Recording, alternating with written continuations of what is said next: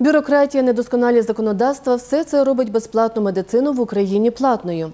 Про те, як луцькі медустанови навчилися заробляти на незареєстрованих в обласному центрі мешканцях, далі у сюжеті. Коли Богдан звернувся в Луцький центр первинної медико-санітарної допомоги, йому повідомили, що безплатні послуги лікарня надає лише зареєстрованим у Луцьку громадянам. Натомість запропонували укласти угоду, згідно з якою він буде добровільно сплачувати гроші за кожен прийом у поліклініці. Нещодавно дійсно звернувся в Луцьку міську поліклініку номер 1 Хотів проконсультуватися з лікарем і отримати певний е, курс лікування.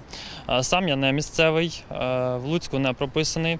От, і відповідно поліклініка е, неприписному населенню надавати безкоштовне лікування відмовилась. Мені запропонували скласти угоду, на умовах якої я маю сплачувати гроші за відповідно кожен прийом у спеціаліста. Про нюанси безплатної медицини в Україні ми поспілкувалися з адвокатом Тарасом Максимовичем. За його словами, платні послуги в державних медустановах дійсно надаються.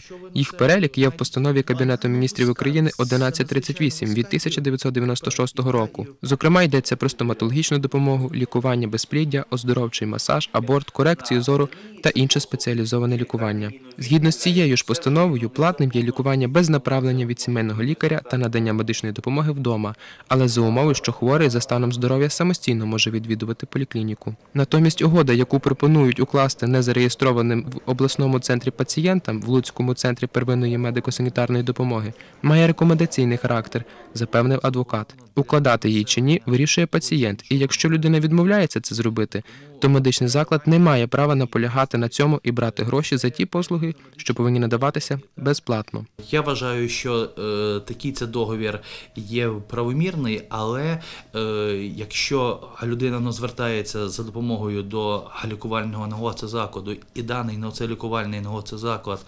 відмовляє у безкоштовному ну, лікуванні, от тоді людина це може звертатись за захистом своїх прав та інтересів до суду. Головний лікар Луцького центру первинної медико-санітарної допомоги Ігор Гнетньов розповів, що лікарня нікого не змушувала і не змушує укладати таку угоду. За його словами, кошти на реактиви та витратні матеріали виділяють для лікарень відповідно до кількості місцевого населення. Тому поліклініка змушена просити у незареєстрованих громадян про благодійні внески. До витратних матеріалів відноситься плівка, ЕКГ-стрічка, дезінфікуючі засоби, шприци. Натомість консультація лікаря чи інші види лікування в українських закладах охорони здоров'я є безплатними, звичайно, якщо ви добровільно не погодились за них платити. В рамках робочого часу, якщо це є надання допомоги і це є згідно направлення лікаря, пацієнту ми не виставляємо рахунок. Ми в межах державного фінансування надаємо всі ці послуги.